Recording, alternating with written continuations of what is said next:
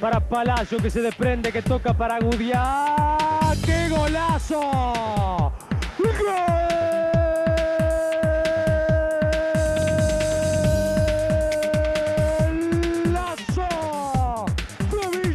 De Bahía Blanca, Gudián.